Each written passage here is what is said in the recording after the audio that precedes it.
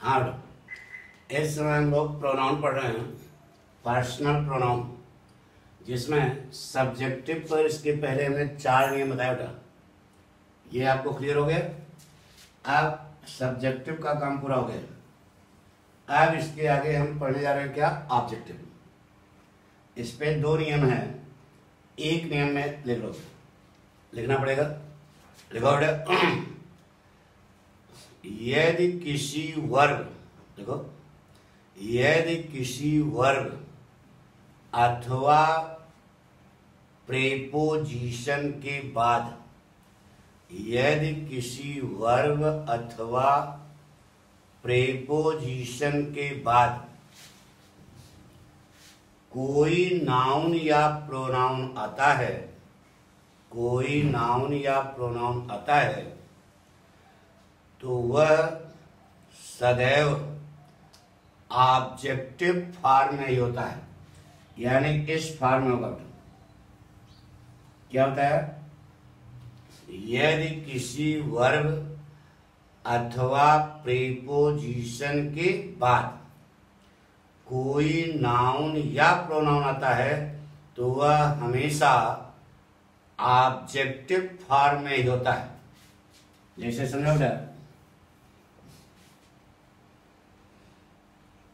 she helped I he said to see देखो, बिल्कुल सरल सी बात है बेटा। हेल्प क्या है? वर्ब है। और टू क्या है? प्रेपोजिशन यदि किसी वर्ब अथवा प्रेपोजिशन के बाद कोई पर्सनल प्रोनाउन आता है या कोई नाउन आता है तो वह ऑब्जेक्टिव फॉर्म होता है किसमें होता है? तो हेल्प के आगे आई आया तो आई का ऑब्जेक्टिव फॉर्म क्या होगा बेटा? मी आई गलत है क्या होगा? मी होगा। अब यदि किसी प्रेपोजिशन के बाद प्रेपोजिशन है टू इसके बाद सी आया तो सी का ऑब्जेक्टिव फॉर्म पता करो, क्या होगा बेटा? हर। यानी यहाँ सी नहीं होगा, क्या होगा? हर यह कंसेप्ट यदि किसी वर्ब अथवा प्रीपोजिशन के बाद कोई नाउन नाउन या प्रोनाउन आएगा तो वह हमेशा किसमें होगा बेटा ऑब्जेक्टिव फॉर्म होगा। बात पक्की हो गई? कंसेप्ट क्लियर है? अब जैसे आया आपके कंपटीशन में।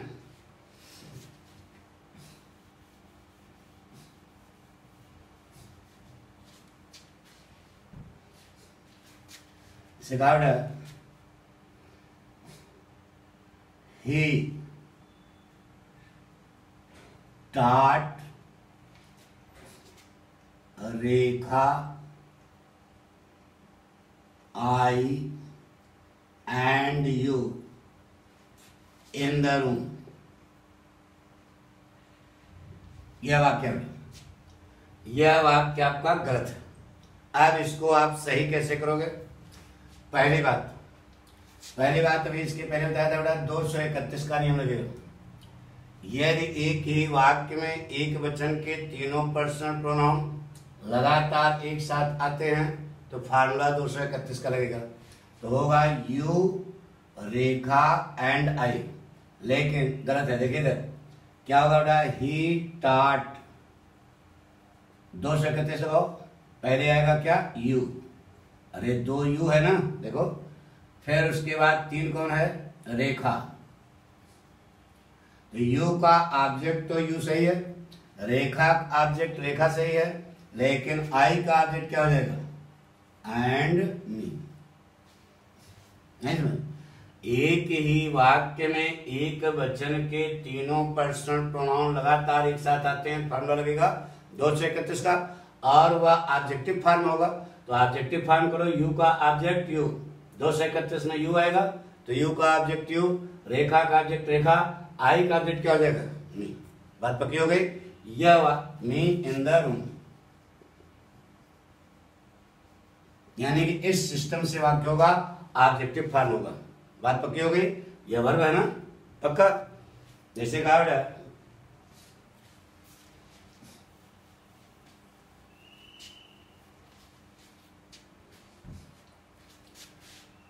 please distribute the sweets among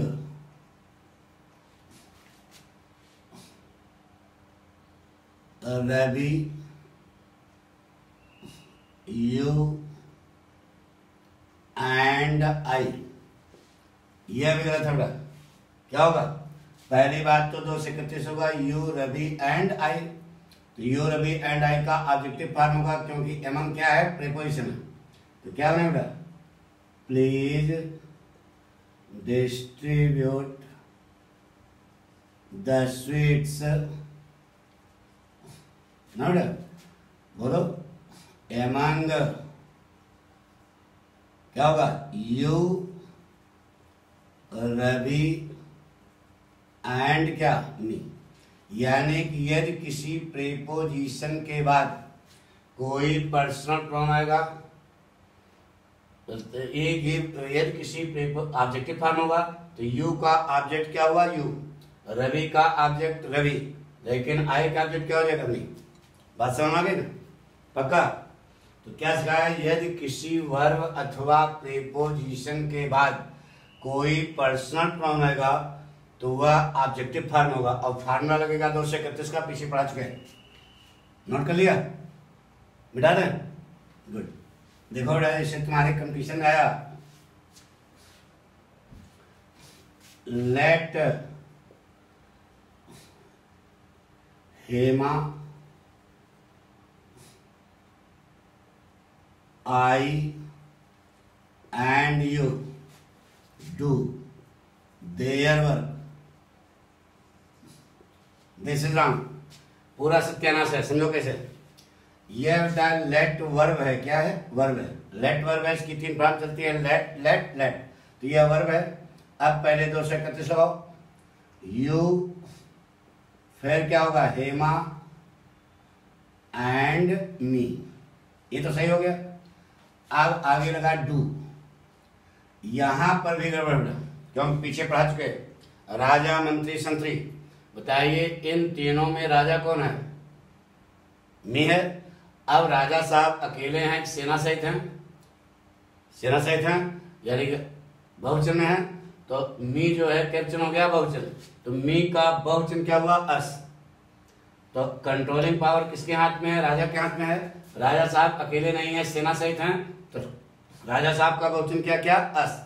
अस के अनुसार पश्चिम के जहाँ देर होगा आवर होगा। आवर वर आगे होगा सुनो तो बनेगा let you Hema and me do our work पक्का? तो यह हमने बताया ऑब्जेक्टिव फॉर्म में यदि किसी वर्ब अथवा प्रेपोजिशन के बाद कोई पर्सनल प्रोनाउन आएगा तो वह ऑब्जेक्टिव फॉर्म होगा। यू का ऑब्जेक्टिव हेमा का ऑब्जेक्ट हेमा लेकिन आई का ऑब्जेक्ट मी हो जाएगा। आगे डू अब पॉजिटिव केस किसके अनुसार आएगा? तो मी राजा, तीनों में राजा कौन बना? मी बना। तो मी राजा साहब अकेले होते तो माई सही था, लेकिन राजा साहब सेना सहित हैं बहुवचन में है तो राजा साहब का बहुवचन क्या हो गया? अस। अस के अनुसार प्रसिद्ध केस क्या आएगा? और। पीछे पढ़ा चुके राजा, मंत्री, संतरी क्लियर कर दिया। ये पॉइंट क्या हो गया? अब आइए पश्चिम केस पे। पश्चिम केस दो होते माई माने मेरा, माइन माने मेरा। आवर माने हमारा। आवर्स माने हमारा। दोनों में अंतर क्या है देखो, यहाँ चार्ट के पास पहुँच जाओ। यह एडजेक्टिव है बेटा। एडजेक्टिव के तुरंत बाद नाउन आता है। क्या था बेटा? नाउन आता ही है। और ये शुद्ध प्रोनाउन है अब प्रोनाउन के तुरंत बाद नाउन नहीं आता। तो देख लो नाउन नहीं आता है। अब यह वाक्य आपके इम्तहान क्या है लिखा बेटा। This car is my. लड़के से कहा गया इसको सही करिए तो लड़का सही करता है, दिस इज़ माई कार। हमने कहा, सही हो गया। अरे, सही करो। This is my car. वाक्य तो सही हो गया। लेकिन आपको नंबर नहीं मिलेगा, क्योंकि आप पढ़ रहे हो कंपटीशन। तो इसमें दिमाग लगाना पड़ेगा। एग्जामिनर जानना चाहता है कि हमने यहाँ माई इस्तेमाल किया। माई माने मेरा। अब इसके आगे नाउन आया क्या? नियम ये कह रहा है इस, ये एडजेक्टिवल है तो इसके आगे नाउन आना ही चाहिए। अरे एडजेक्टिव माने विशेषण यार। तो यह विशेषण है तो इसके आगे नाउन आना चाहिए। तो नाउन आया क्या? नहीं आया। इसका मतलब वाक्य आपका गलत है। तो कुछ ऐसा करो शॉर्ट कर चलो। कुछ ऐसा करो कि यहाँ ऐसा शब्द इस्तेमाल करो जिसका अर्थ मेरा होता हो।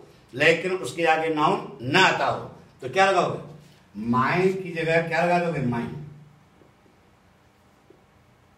नहीं सुन। जैसे कहा बेटा, our is a great country.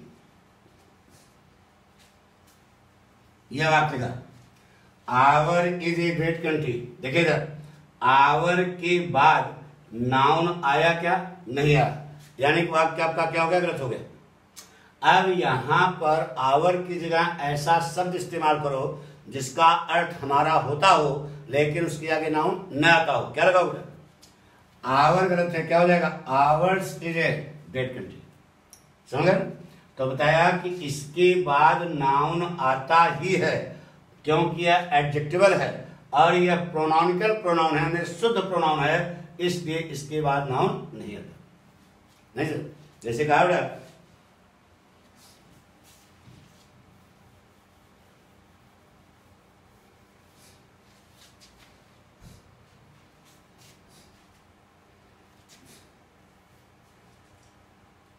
Yours opinion is correct.